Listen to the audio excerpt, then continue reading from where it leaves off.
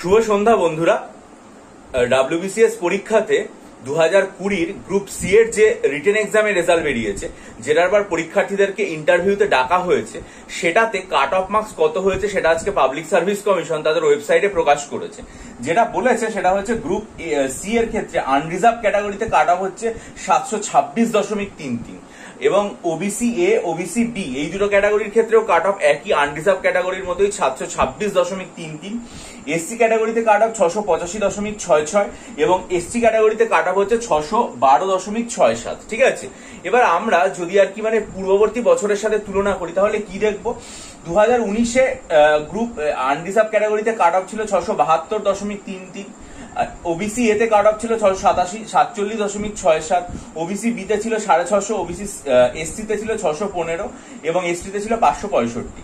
দু হাজার আঠেরোর ক্ষেত্রে যদি আমরা দেখি, তাহলে আনরিজার্ভ ক্যাটাগরিতে ছিল ছশো নব্বই দু হাজার আঠেরোতে ওবিসি এর ক্ষেত্রে ছিল ছশো সাতষট্টি দশমিক ছয় সাত গ্রুপ ওবিসি বি এর ক্ষেত্রে ছিল ছশো সত্তর এসসির ক্ষেত্রে ছশো ছশো পঁচিশ আর এসটির ক্ষেত্রে হচ্ছে পাঁচশো চুরাশি।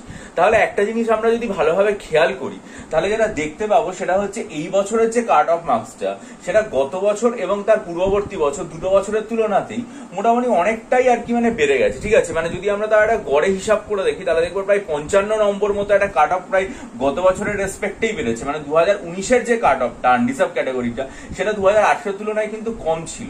কিন্তু দু হাজার কুড়িতে গিয়ে সেটা বেড়ে গেল। মানে এখানে ছশো বাহাত্তর ছিল, এখানে সাতশো ছাব্বিশ হয়ে গেল, ঠিক আছে? অর্থাৎ কাট অফ মার্কসের যে বৃদ্ধিটা, সেটা মানে প্রভূত পরিমাণ, অনেকটা আর কি মানে বেশি কাট অফ মার্কস হয়েছে তা আমি শুধু একটা কথাই বলতে চাইব, সেটা হচ্ছে যে মানে আরও একটা জিনিস হয়েছে সেটা হচ্ছে দু হাজার উনিশে গ্রুপ সিতে ইন্টারভিউতে ডাকা হয়েছিল তিনশো সাতাশি জনকে। কিন্তু এবছর সাড়ে পাঁচশোর বেশি বোধ হয় পাঁচশো ছাপ্পান্ন বা আটান্ন এরকম ক্যান্ডিডেটদের ডাকা হয়েছে।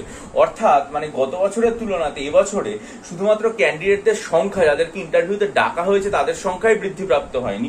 বরং মানে কাট অফ মার্কস যেটা, সেটাও আর কি মানে অনেকটা অনেকটা আর কি মানে কাট অফ মার্কস বেড়ে গেছে। ঠিক আছে, এখন ভবিষ্যতে আমরা নিশ্চয়ই ভিডিওতে আলাদাভাবে আলোচনা করব যে এই ধরনের যে হাই কাট অফ সেগুলোতে আমরা কীভাবে পৌঁছাতে পারি বা নম্বরের ডিভিশনগুলো আলোচনা করতে পারি। আজকে তোমাদেরকে তুলনামূলকভাবে এটা আলোচনা করে দেখিয়ে দিলাম যে বিগত বছরগুলোর তুলনায় এই বছরে মানে কীরকম একটা পরিবর্তন এসছে। ঠিক আছে, এটাই হচ্ছে আজকে ভিডিওর বক্তব্য।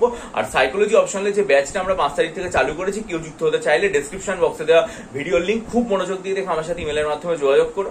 আর এই ভিডিওটা ভালো লাগলে অবশ্যই লাইক করো। বন্ধু বন্ধুদের মাঝে শেয়ার করে এবং এই সংক্রান্ত সমস্ত অথেন্টিক খবরাখবর ও বিশ্লেষণের জন্য এই চ্যানেলটা সাবস্ক্রাইব করে নিও। ভালো থেকো, দ্রুত সফল হও।